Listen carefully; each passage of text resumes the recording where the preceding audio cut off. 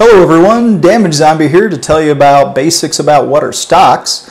Uh, but first, the quick disclaimer that I am not a licensed financial advisor, I am not a tax advisor, lawyer, consultant, or any way certified. I am giving you my opinion. Uh, this is for entertainment purposes only, and I'm glad that you chose to watch it. Please consult your tax advisors and investment advisors for your own situation. Now, with that being said and out of the way, so stocks are a way for you to purchase a percentage of a company in the form of shares. You can do this online through websites or there's even trading apps now, like I'm sure a lot of us out there have now heard of what Robinhood is after the recent GameStop fiasco. But uh, you can buy a share of a company and I've drawn over here, so this little red sliver here just represents a small percent, right? Whole pie chart, your total shares. So like if I wanted to buy $1,000 worth of stocks, even though $1,000 is, you know, a good chunk of money, overall it's not going to be a big percentage of the company. Um, but there are two ways of buying stock or two, two types of stock. You've got common stock and you've got preferred stock. So in this, you know, pie, they've got preferred and common. So I'm going to abbreviate here, preferred and common. So preferred stocks, uh, what are those? Um, unless you specifically have sought them out, you probably don't own them because they are usually a little more expensive, uh, but they guarantee you a set fixed rate of dividend payout, and I'll explain dividends more in a minute. Uh, whereas common stocks, so you got the preferred ones, they have the fixed dividend. Common stocks do not. Uh, their dividend rate can go up or down with the performance of the company. So variable, I'll put variable dividend. Common stocks also get a say in the company, meaning that whenever they are doing votes for board member positions, directors, new directions for the company to go, some companies may consult their shareholders to see where those who have got money invested in them, what do they want.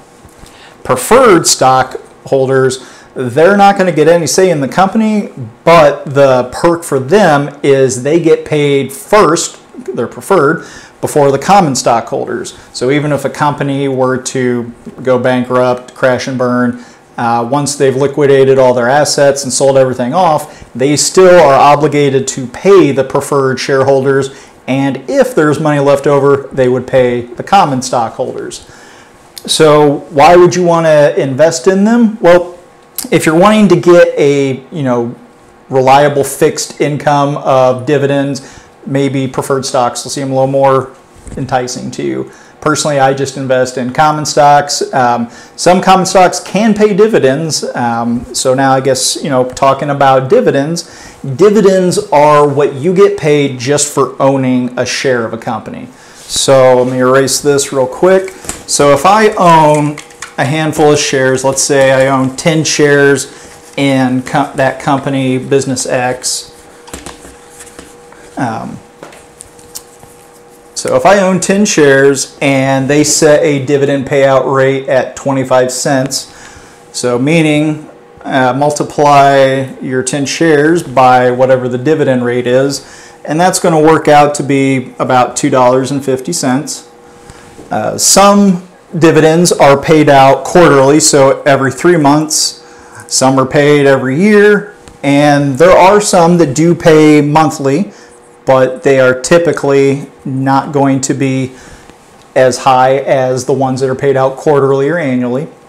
But again, that can change. So dividends are a good way for you to supplement your income, build a retirement strategy to where you have another source of money coming in for just owning those shares that you've decided to purchase. Um, you might even already be a stock investor and not even realize it. So 401ks are something a lot of us have or have heard about.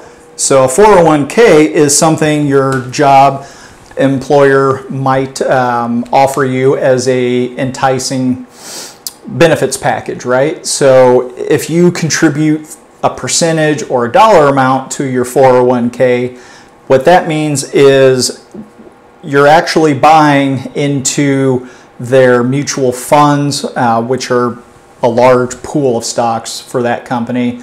And the goal is long term investment because it's meant for your retirement. Some companies will even match your money. So if you put in 3%, they will pay you an additional 3% to match the 3% you contributed. And that is a fantastic way to earn free money because if you were to put $100 into your 401k and they match it dollar for dollar, then you just got double that. So even better, definitely look into your benefits package if you have a job and they offer anything with 401k, might be something to consider for you. So why would anybody want to buy stocks?